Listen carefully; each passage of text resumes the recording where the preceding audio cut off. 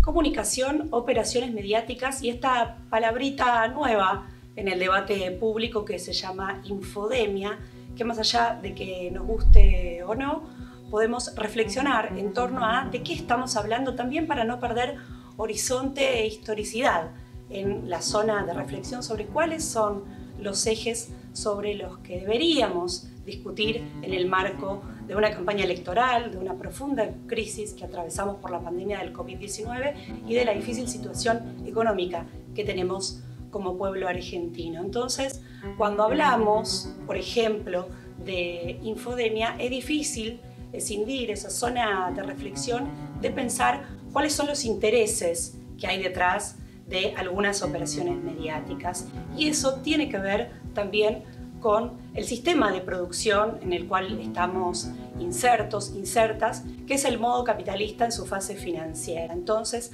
las grandes corporaciones operan de ciertas formas en la comunicación. Algunos ejemplos entonces de lo que aconteció en la pandemia y por qué digo esto, y me voy a las vacunas. Ustedes recordarán la gran campaña en contra de una de las vacunas que había conseguido la Argentina, me refiero al Sputnik B de Rusia,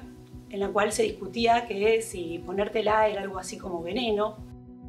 En torno a la vacuna que había conseguido la Argentina, Oxford AstraZeneca, que en otro lado del mundo tenía grandes operaciones de parte de intereses de otros laboratorios, porque había en ese lugar, me refiero a Europa, gran cantidad de otras vacunas, se decía que generaba trombosis, aun cuando había sido aprobada a nivel mundial y también a nivel nacional, por supuesto, y cómo eso también operaba eh, aquí en este lugar del mundo en el que estamos. Y luego Pfizer, recordarán también la gran campaña que implicaba algo así como acordar con ese laboratorio de la forma eh, que fuera, quién está detrás, ¿no? ¿Qué pasa atrás, en ese caso, de ese laboratorio, que es el fondo buitre BlackRock, que tanto conocemos aquí en la Argentina, porque fue uno de los que se negó rotundamente, hizo todo lo posible por que la Argentina no reestructurara su deuda externa, algo que también discutimos hoy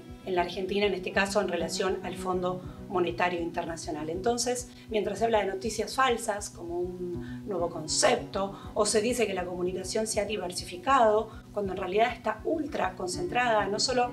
en relación a los medios tradicionales, sino también en lo que implica el mundo de los algoritmos. Fíjense qué paradoja, porque en realidad está más concentrada que nunca y no diversificada. Una agenda a construir en torno a las necesidades de las mayorías es qué pasa con la deuda externa argentina, contraída de manera ilegal y de manera inconstitucional en 2018. Una agenda de pueblo, por ejemplo, entonces sería construir la ilegitimidad